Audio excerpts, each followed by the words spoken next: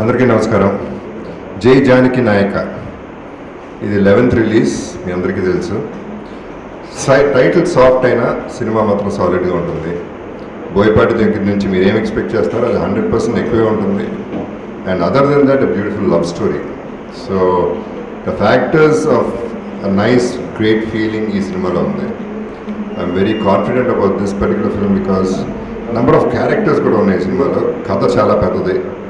It's not a simple story handle very well by the director so అన్ని characters పండుతున్నాయి కాబట్టి I think I think కదా I know for sure it be a great film one మో blockbuster for director and all of us and cinema producers కొత్త uh, Ravindra Reddy గారు కొత్త అయినా but we are so happy అంటే ఈ సినిమా ఎంత బడ్జెట్లో చేయాలి అంటే ధైర్యం కావాలి. ఆయనకు ఆ ధైర్యం చాలా ఎక్కువ ఉంది మామూలుగానే. ప్లస్ బోయపాటి మీద నమ్మకంతో ఈ సినిమా చేయడం జరిగింది.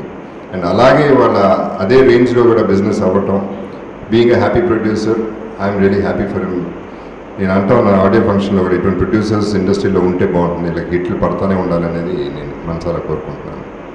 అండ్ శ్రీను శ్రీనివాస్ పిల్లకొండ శ్రీనివాస్ చాలా బాగా చేశాడు ఈ సినిమాలో. అందరూ అనే మాట హీరో బాగా చేశాడని.